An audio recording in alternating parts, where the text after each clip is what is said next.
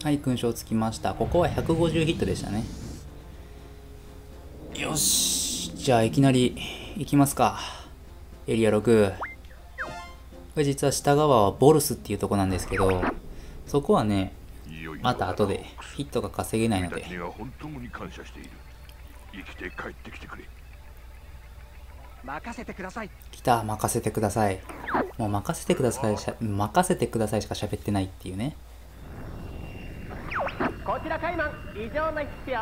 こちらか今異常ないっすよ。何回聞いたことかこのフレーズも。えー、緊急配備につけ異常ないって言った瞬間にね来るっていうね。今頃気がついても遅いぜ。よっしゃー行こう。ここはね気合が入る。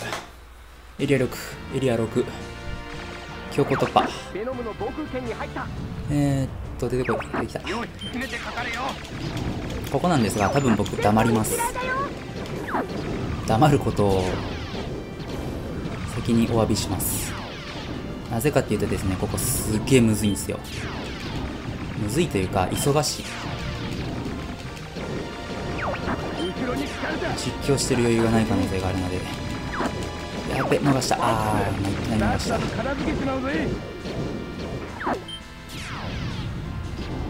あのこのアンブレラっていうんですけどこの円盤みたいなやつ。これをどれだけ破壊できるかっていうゲームですこれは。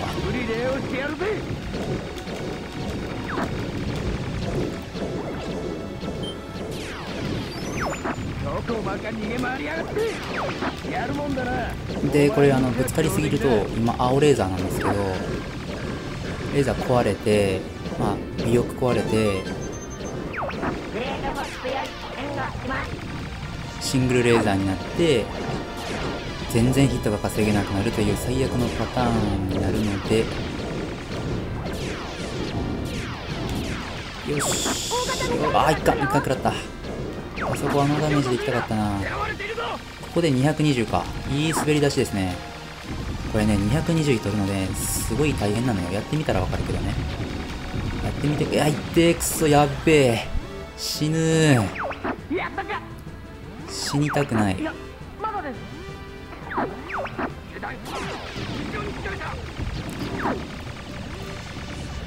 こは基本ペッピーを助ける方向でくそーやばい死ぬマジで死ぬこれやばいマジで死ぬこれやばいやつやマジでやばいやつやもうアイテム取ったらぼあのアンブレラが壊せんしっていうねもどかしさ。いってやべやばいやばいやばい。スリッピーに心配されよる場合じゃない。くそ倒せんかったし。ここはあいつを倒してゴールドリングをいただきたいところ。あ終わった。終わった。もう久しぶりにやったできんよっしゃ。やり直そう。よし詰めてかかれよ前方に嫌いだよ。まあ最初のあの敵の群れを倒すとレーザーがもらえるので若干やり直しは効くんですよね。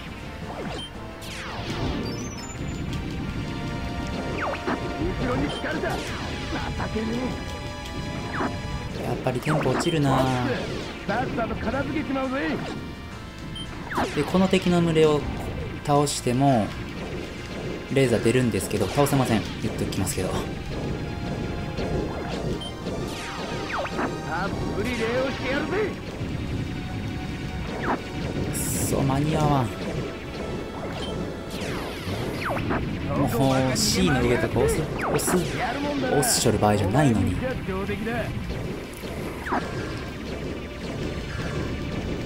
よし。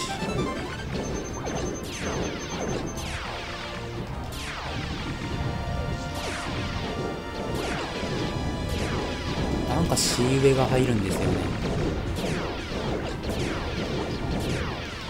やべ。いっ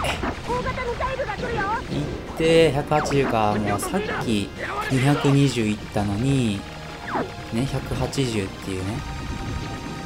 もうレーザーがどれだけ重要かっていうのがお分かりいただけたかなと思います。だってここで40ヒット違うんですよ。40ですよ。40違うって本当にすごいことですからね。ここもね本当は U バックヒットね狙ってっていうテクニックがあるんですがそんな余裕もない。でここの通信を無視します。アンドルなのでどうせあいつ通信に割り込んでくるんで。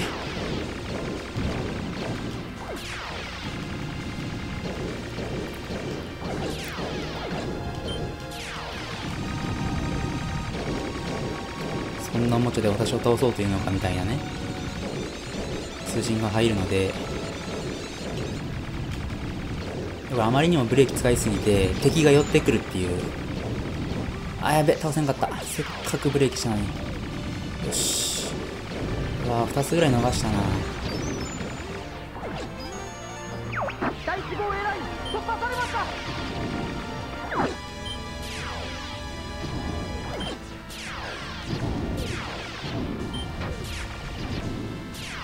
ここもできるだけアクスをロックオンしたくなかったのにな。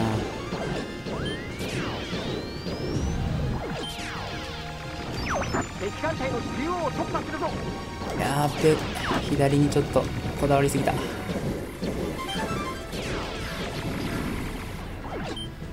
ホームがなしか。第5エラインを突破されました。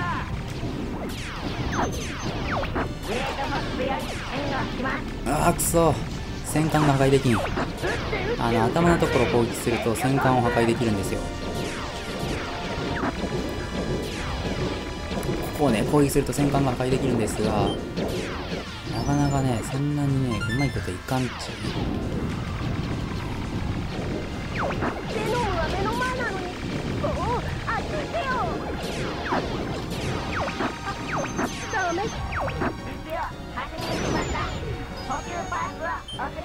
うわすげえな。400か。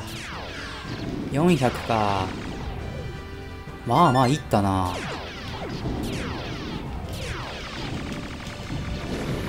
食らいすぎ食らいすぎあくそよっしゃー。450まあまあやね。僕多分全席500いったかな。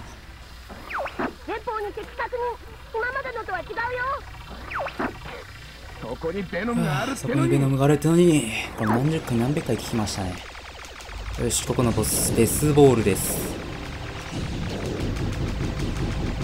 周りの3つのエネルギー体を攻撃することでコアが発動。発動というかまあコアが出現し分ます。で3つの触覚を壊したら形態変化して攻撃のパターンが変わりますまあこのミサイル全然迎撃する必要ないんですけど暇なんで迎撃して遊びます。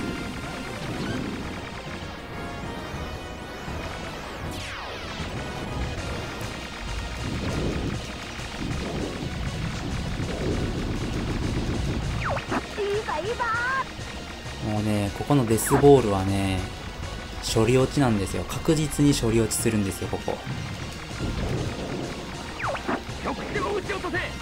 開かせるのだっていうこうペッピーの変な日本語を聞けるのもここなんですよね。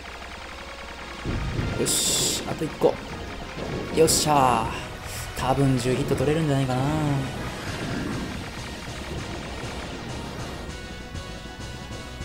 構えます。で当たった。当たると思わなかった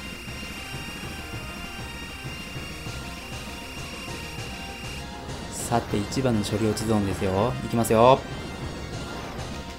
3つのエネルギー球を全て破壊しろもうねデスボールも動きよるし大変なんですよなんかこう。全然あのー、触手動いてないでしょ。処理落ちですよ。よっしゃー10ヒット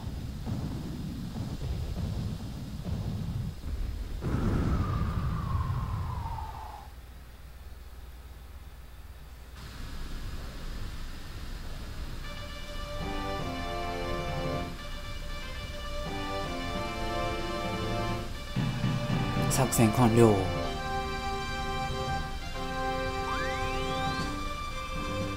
うん2000ヒット無理やね。ここは300ヒット取ると勲章がもらえますね。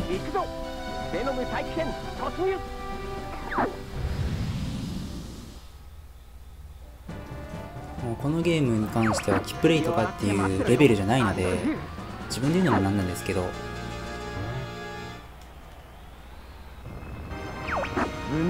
た。今作初の出動ですね。出動というかまあ出現というか。スターフォックスでスターフォックスじゃないよスターウルフです。ス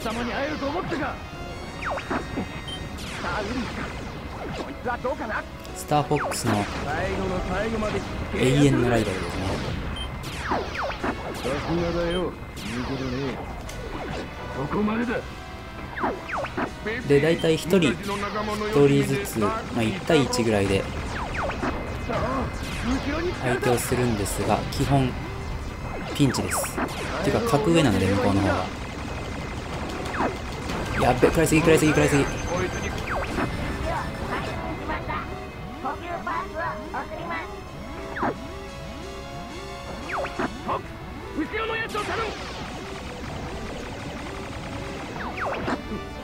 ぷり可愛がってやる。お前たちは門前払いだ。やべえ処理落ちしよる。あ撃たれる。あ撃たれた。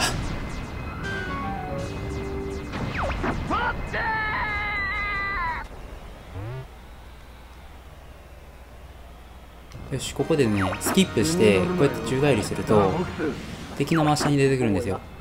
でここをチャージ弾打つとヒットが稼げるんですよね。ほら2ヒット稼いでるもうねここはね何回やり直したことか。本当に。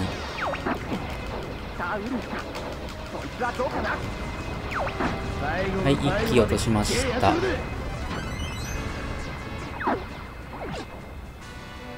でこれ早く倒すと50ヒットなんですえー、っと次はアンドリューかな。近いのはアンドリューかな。スリッピーの後ろに粘りついてるこいつを。お前も我々に逆らうウルフが邪魔や。こうやって地面に打つことで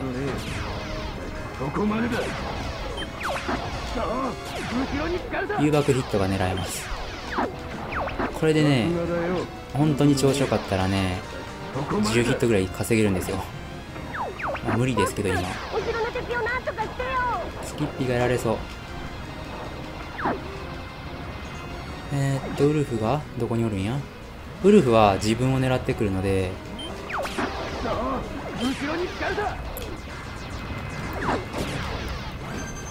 ああー羽壊れた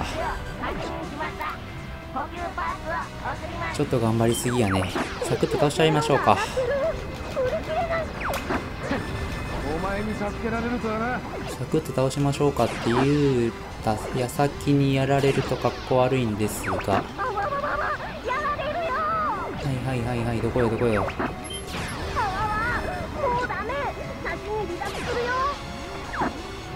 あ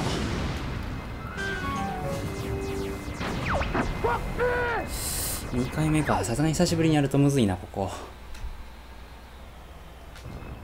うんまあ確実にいらんことしょんで。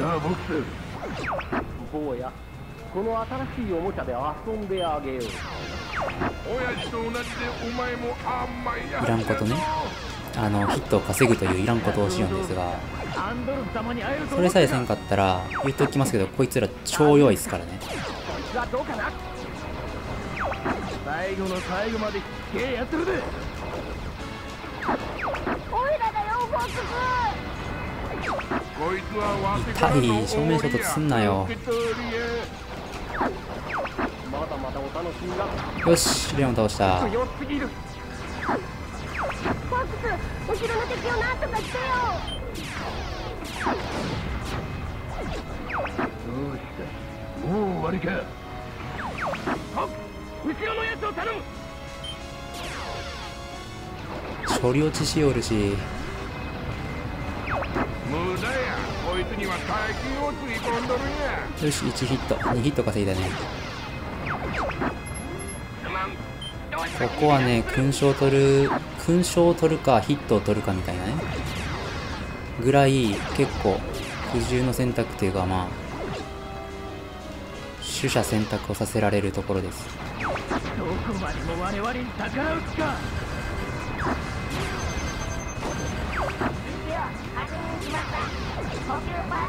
送ります怖くはない。振り切ってやる。無駄や。こいつには大金をつぎ込んどるんや。やばいな。落とされるなこれ。3度目の正直でもないぞこれ。しかもヒットも稼げん可能性がある。もしこれでうまいこといかんかったら僕はヒット稼ぎをやめて。いつはわてからのおごりや受け取りや瞬殺します。本当に瞬殺します。無駄や。こいつには大金やばい。やばい。やばい。くっそ。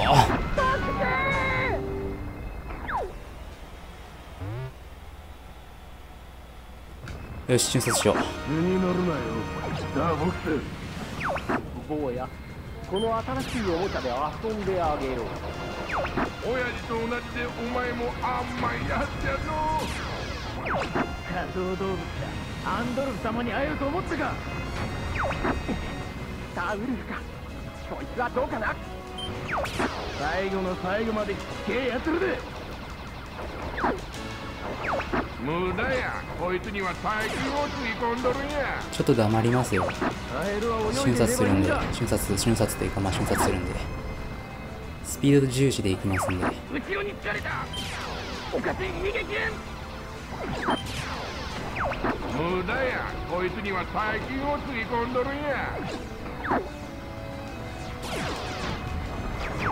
なんやと。このカエルは泳いでいればいいんだ。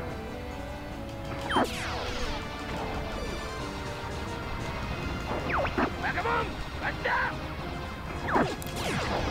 オイラだよ。ダメかと思ったよ。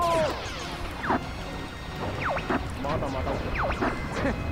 お前に助けられるとはな。逃がすもんか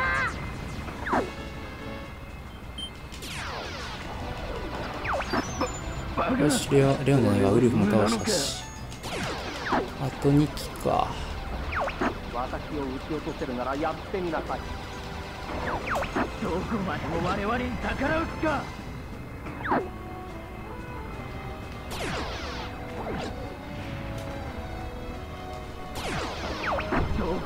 うわくそあと一発。あと一発が入らん。よ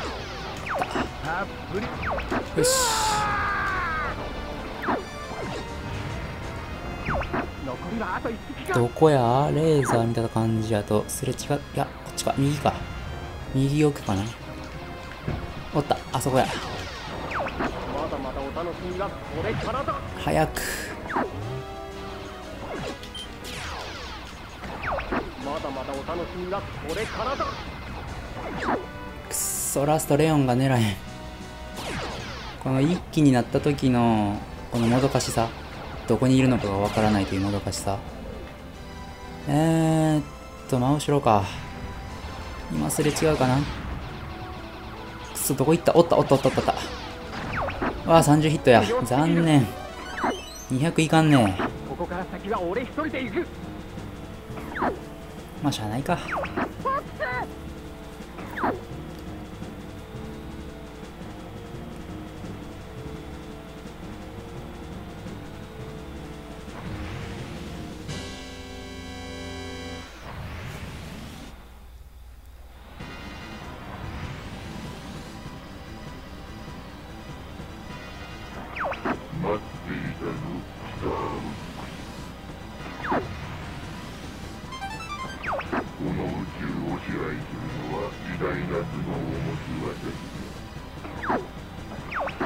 私に逆らうことがい。かに無駄なことであるかその身をもって痛い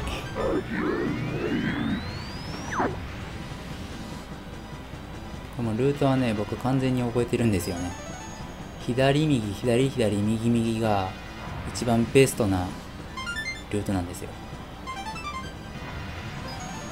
よし。いやオレーザー。完璧やね。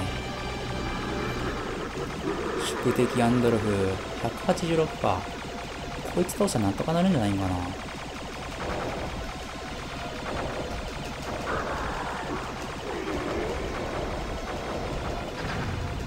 まあこいつの倒し方は目を攻撃して痛がっとるところを手のひら攻撃で。で最後は目を攻撃するとおなじみのはいノーミサンドル。フキモいぜキモいぜ。まあもうかよっていうね。貴様の正体か。アンドルフ何十回聞いたやろこのセリフ。ここねいきなりブレーキしてチャージダウンチャージするんですよ。でロックオンした瞬間に打つと1ヒット稼げます。確かあの目目がねちょろちょろ動くんですよ。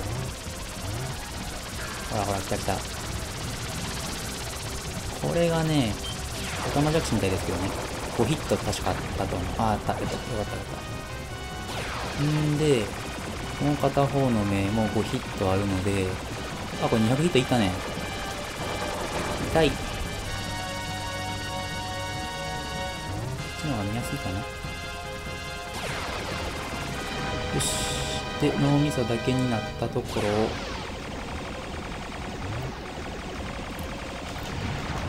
くそ飛ばんかった。えー、っとどうしようかな。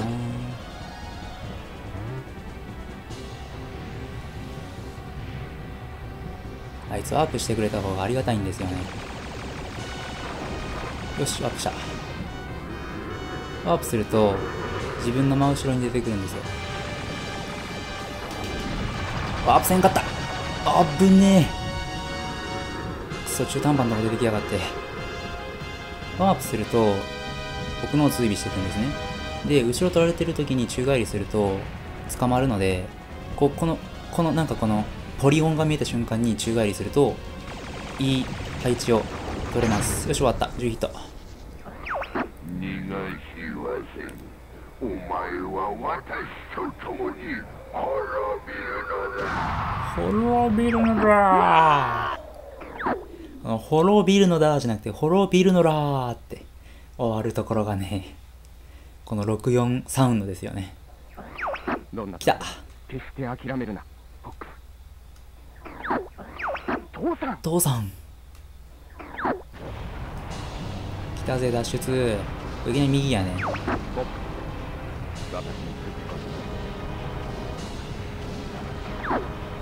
よっしゃ200いった。ギリギリ200いったね。よかったよかった。お父さんを狙う。ここだ。当たらないですけどね。右。近づきすぎると向こうもブーストするんですよ。違うルートを選ぶと行き止まりで即死なんですよね。もうねめんどくさいんでねい行きたくないんですよ即死ルートどっちや。右か。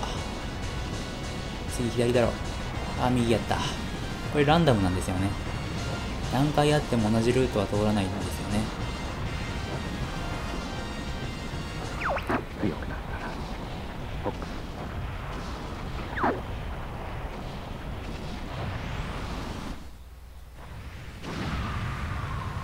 出てきた時の気鋭がどうもウルフェンに見えるんですよね僕。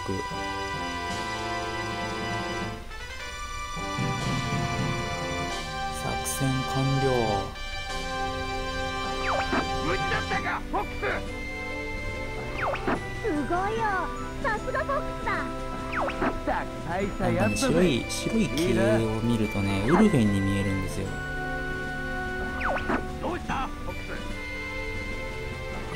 いやなんでもないこれ皆さんどっちだと思います？本当にジェームズの亡霊なのか亡霊というかまあジェームズの影なのかそれともウルフなのかっていうねなんかウルフっぽい気がするんですよねあの出てくる瞬間とかウルフェンに見えますしよしというわけでエンディングですまあ、プレイ時間、今んとこ1時間か。10じゃないわ。1時間ですね。このゲーム1時間ぐらいでサクッとクリアできます。1時間ぐらいサクッとクリアできるんですが、勲章を取ろうと思うと本当に、こっちみんなまあ、勲章取ろうと思うと結構やり込まなければいけないんですが、えっ、と、エリア6の勲章ポイントは確か300なので、まあそこもクリアしてましたね。で、ベノムの勲章ポイントは200ヒットなので、そこもクリアしてました。で、いつ勲章がつくのかというと、クリア後になります。クリア後、まあこのエンディングが終わって、最後リザルト画面が出るんですが、そこが終わってタイトル画面に戻ったら、戻って、まあ、もう一回メインゲームを始めると、勲章がちゃんとついてます。うん、初見の時全然勲章取れんかったもんな。そもそもベノム2をクリアできんかったもん。あのウルフたちがめちゃくちゃ強くて、どうやって戦っていいかわからんというか、その、避けれんかった、レーザーを。ね。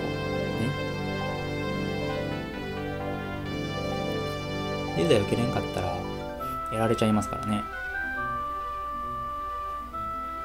ちょっと今回あの時間が空きまして、時間が空いたというかまあその、昔プレイしてた当時のプレイングではないので、本調子ではなかったですけど、まあなんとか勲章はゲットできましたね。あそこのエリア6じゃないわ。ベノム2も、あそこベノム2っていうタイトルなんですけど、実は1があるんですよ。2、2、2、2言ってますけど、1があるんですよ。で、下ルートでボルスを通ると、ベノム2じゃなくてベノム1に行きます。で、ベノム1で200ヒット稼いでも勲章はつきません。なぜかね。ベノム2できちんとクリアしてくださいということなんでしょうかね。ビールがたくさん並んでますよ。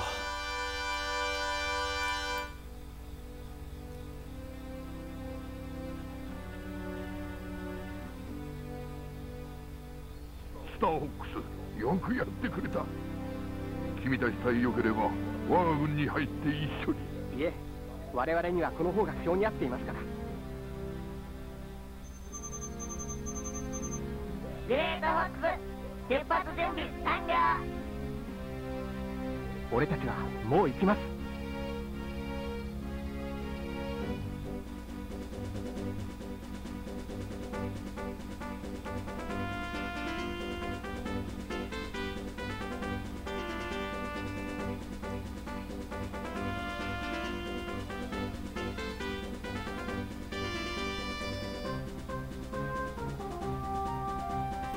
BGM がいいね。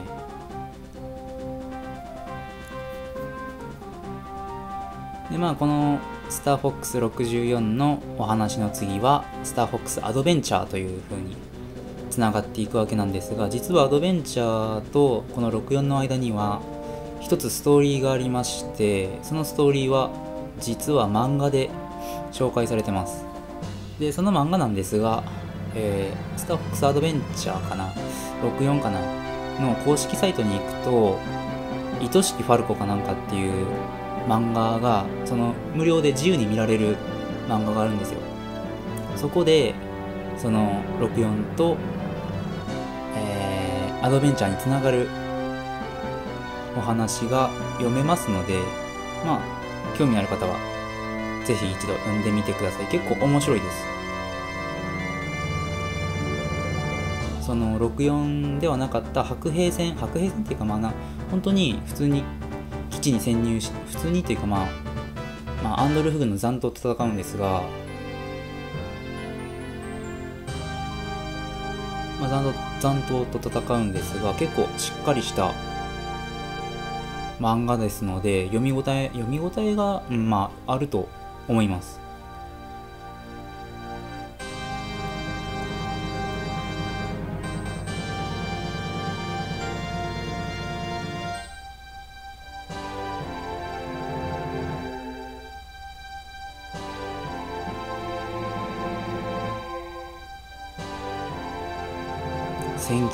1997年任天堂何年前や？19年前ですよ。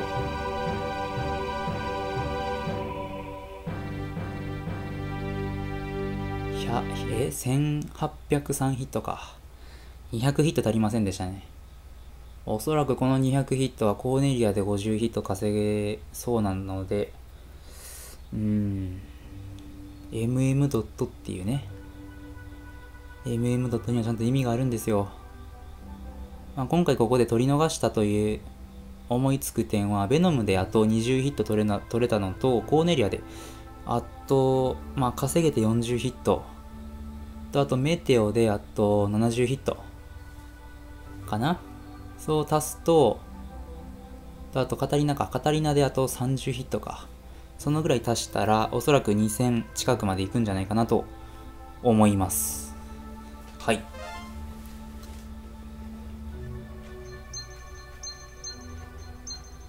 ほら、意味わかんないでしょ？これ、1803ヒットが2位なんですよ。で、4位に1832ヒットがあるんですよ。あ、なんかこのデータとか見よってわかりますけど、メテオが390いってるんですよね。400とか。エイリア6は多分バグってるんですよね。270なわけないじゃんって。ほら、ここ505ヒットいってるんですよ。この7位のところは505ヒットいってるのに、こう6位のところは257ヒットとかね。5位のところは277ヒットとか。なんか変なバグがあるみたいで、僕のソフトは。なんかね、ちゃんとした値じゃないんですよ。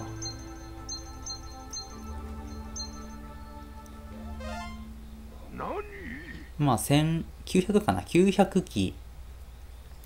ベノム軍兵器撃墜数が900か1000か、そこら超えると、ペパー将軍が、何？って言って、反抗してくれます。よし。スターフォックス64。あれ？あ、トレーニングじゃない。くっそ。やめまーす。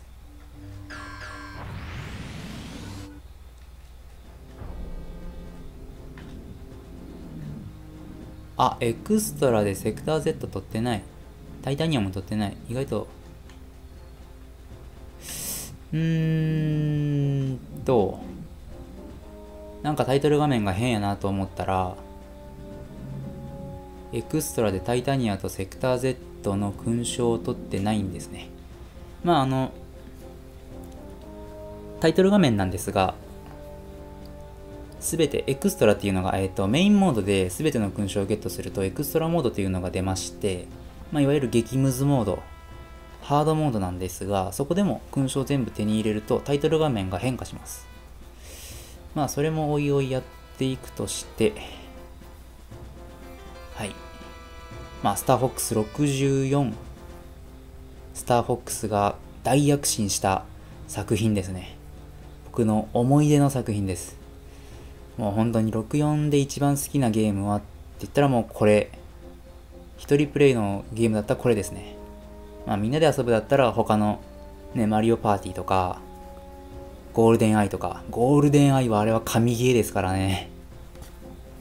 まあいろいろあるんですが、一人ゲームやったらまあ、スターフォックス64かなと。シューティング、シューティングの、そのパイオニア的な存在ですからね。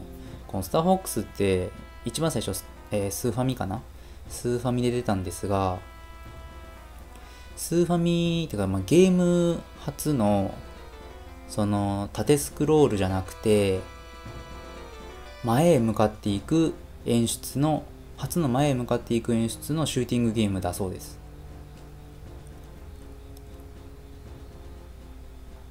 縦スクロールじゃなくて、前へ前進する、要するに画面が流れていくっていう、自分がコックピットに乗った時の、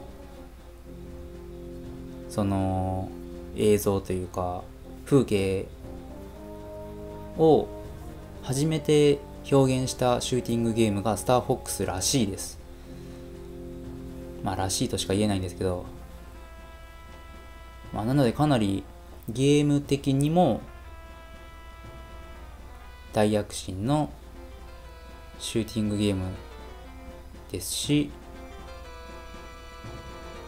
スターフォックスにとっての大躍進のスターフォックス64ですからね。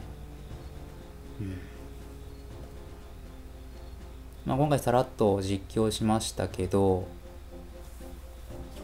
これぐるぐる回るのちょっとね、あまり好きじゃない。こうカチッと止まっとってほしい。で、今回あのー自分の私の好みで好き勝手動きましたが、次回はどうしようかな。またコーネリアから始めて、下のフィチナとかタイタニアとかボルスとかを通りながら、ベノムへ行けたらなと思います。これ下手すりゃ3回で終わってしまうんよね。まあないと思うけどね。僕上ルートのこのセクター Y とか、この青色？見えるかな？この青色の惑星とかすごい苦手なんですよ。で、ここの緑色の惑星も緑の惑星も結構苦手で、で、このセクター Z も、セクター Z がくっそむずいんですよ。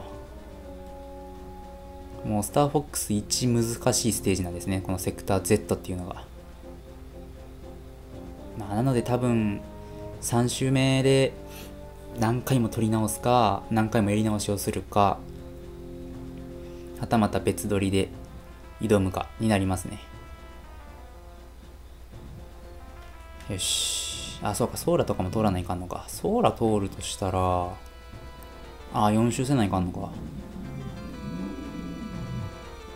まあまあ、そんなところは、そういう話はさておきまして、今回、スターフォックス64、実況プレイをさせていただきました。このゲームの面白さを、一人でも多く、一人でも多くに知っていただきたい。うん。ヒット数に悩んだらね、この、このゲームね、本当にヒット伸びんな、もうちょっと稼ぎたいな、どうやったらヒット伸びるやろう。そういう時は、あの、上手い人の動画を見ると、スッと上手くなります。本当に、びっくりするぐらい、速攻性がある、その、上達術なんですけど、上手い人の動画を見ると、一気に上手くなります。まあ、何がどこに出てきてどうやって倒せばいいのかが分かりますし、それを覚えるだけで、本当にシューティングゲームはスコアが伸びると思うので、スコアに、スコアアップに悩みましたら、本当に上手い人の動画を見ることをお勧めします。まあ僕はそんなに上手くないので、あまりお勧めできませんが、まあ本当にあの YouTube とかで検索すると、タス動画とか、本当にタス動画とか見ても、このゲームは上達すると思います。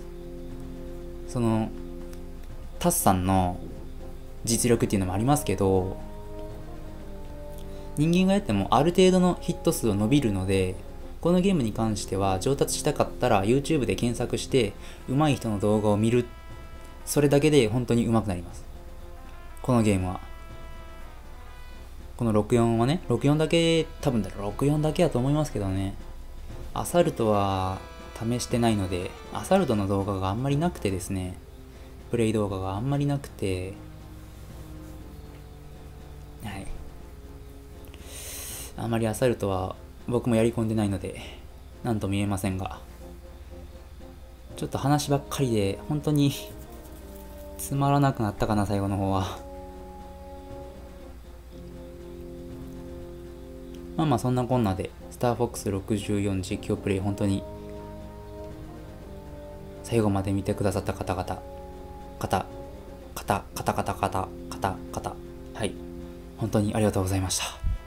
よかったら他の動画も見てください。はい。ペンギンでした。